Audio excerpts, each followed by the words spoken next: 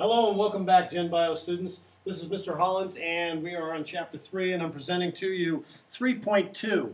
3.2 is about energy, producers, and consumers.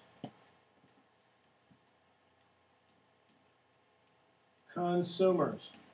And you can create an outline for this section uh, on paper uh, or you can ask me and I can give you one. Nonetheless, you should be able to organize your reading and take notes. Take notes for this chapter, section 3.2. This is, watch this, we're going to write, make sure that you get it this time. Section 3.2. Okay? Biology. Biology.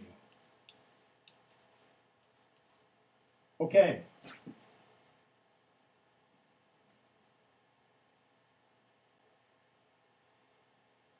Let's take a look at the textbook lesson overview. Energy producers and consumers. Think about it.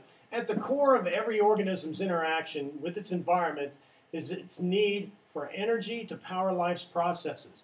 So where do we get our energy? I know we like to eat, and that gives us some energy in the morning. But where does energy in living systems come from? And how is it transferred from one organism to the other?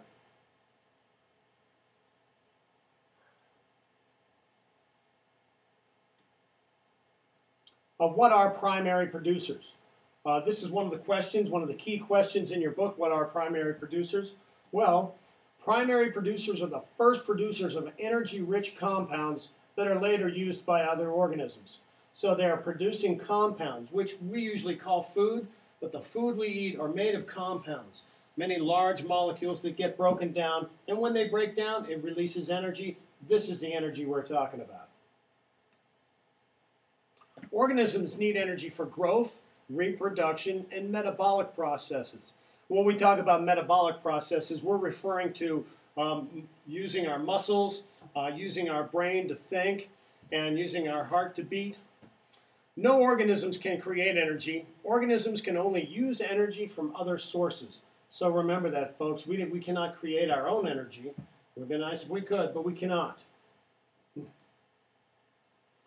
Primary producers. For most life on Earth, sunlight is the ultimate energy source. For some organisms, however, chemical energy stored in inorganic chemical compounds serves as the ultimate energy source for life processes. And you can see in this lower left-hand picture, it looks like some kind of smoke or something. It's pretty strange, but uh, this, this area right down in here, this is uh, underwater. Under the sea, there are sea vents and there are bacteria that live near these sea vents, and they use sulfur instead of oxygen. We have to use oxygen. Plants, algae, and certain bacteria can capture energy from sunlight or chemicals and convert it to, into forms that living cells can use. These or organisms are called autotrophs. And auto, the autotroph, the auto and autotroph, it sounds like uh, automatic and troph stands for food. So automatic food, it would be nice if that happened for us. Autotroph. Autotroph. Say it again. Autotroph. Organism that is able to capture energy from sunlight or chemicals and use it to produce its own food from inorganic compounds, also called a producer. So we call it a producer because it can produce those chemical compounds that we like to use. Autotrophs are also called primary producers. Primary producers store energy in forms that make it available to other organisms that eat them and are therefore essential to the flow of energy through the biosphere. You learned about the biosphere in last section 3.1. For example, plants obtain energy from sunlight and turn it into nutrients that can be eaten and used for energy by animals such as this caterpillar. The best known and most common primary producers harness solar energy through the process of photosynthesis. Photosynthesis is a process, and this process uses carbon dioxide and water in the presence of light energy to produce carbohydrates plus oxygen. So the carbohydrates are the things we like to use for our energy. We eat them. We eat carbohydrates.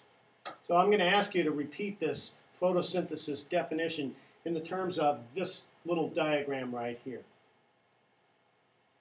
Photosynthesis captures light energy and uses it to power chemical reactions that convert carbon dioxide and water into oxygen and energy-rich carbohydrates. This process adds oxygen to the atmosphere and removes carbon dioxide. That certainly sounds like a good thing. Plants are the main photosynthetic producers on land.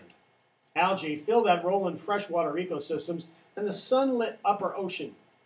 Photosynthetic bacteria, most commonly called cyanobacteria, are important primary producers in tidal flats and salt marshes. Biologists have discovered thriving ecosystems around volcanic vents in total darkness and on the deep ocean floor. Deep sea ecosystems depend on primary producers that harness chemical energy from inorganic molecules such as hydrogen sulfide. And this is considered life without light. So they don't have light, they don't have sunlight, they have to use other things such as these inorganic molecules. The use of chemical energy to produce carbohydrates is called chemosynthesis. And this is a little bit different than photosynthesis. How do consumers obtain energy and nutrients? Uh, consumers, organisms that rely on other organisms for energy and nutrients are called consumers. We are consumers. We depend on plants to provide energy and other animals to provide our energy. Organisms that must acquire energy from other organisms by ingesting in some way are known as heterotrophs. Heterotrophs are also called consumers. This parrot here in this picture is eating some plants, and that is considered a heterotroph.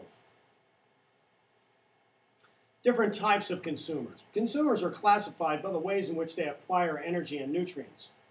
Carnivores kill and eat other animals and include snakes, dogs, cats, and this giant river otter in the picture. Catching and killing prey can be difficult and requires energy, but meat is rich in nutrients and energy and is easy to digest. Scavengers, like this king vulture, are animals that consume the carcasses of other animals that have been killed by predators or have died of other causes. Decomposers, such as bacteria and fungi, like this mushroom, feed by chemically breaking down organic matter. The decay caused by decomposers is part of the process that produce detritus, small pieces of dead and decaying plant and animal remains. Types of consumers. One type of consumer is herbivores, like this military macaw obtaining energy and nutrients by eating plant leaves, roots, seeds, or fruits. Common herbivores include cows, caterpillars, and deer. Omnivores are animals whose diets naturally include a variety of different foods that usually include both plants and animals. Humans, bears, pigs, and this white-nosed coati are omnivores. Can you say coati? That's what's in this picture here. And then we have detritivores, detritivores, like this giant earthworm, feed on detritus particles, often chewing or grinding them into smaller pieces. Detritivores commonly digest de decomposers that live on and in detritus particles. Beyond consumer categories, well, categorizing consumers is important, but these simple categories often don't express the real complexity of nature. For example, herbivores that eat different plant parts often differ greatly in the ways they obtain and digest their food. So similarly, caterpillars and this macaw, they are different, yet they are both considered herbivores. And finally, in addition, organisms in nature often do not stay inside the categories we put them in. For example, some carnivores will scavenge even if they get the chance. Many aquatic animals eat a mixture of algae, bits of animal carcasses, and detritus particles. It's important to expand upon consumer categories by discussing the ways that energy and nutrients move through ecosystems. And this has been a lesson overview for energy producers and consumers, section 3.2 in your book. So go ahead and read that section now and see if what I haven't said matches what you read. That's a, that would be a good strategy to remember what you read, and then we'll talk about that in class when you return. Thanks, and see you later.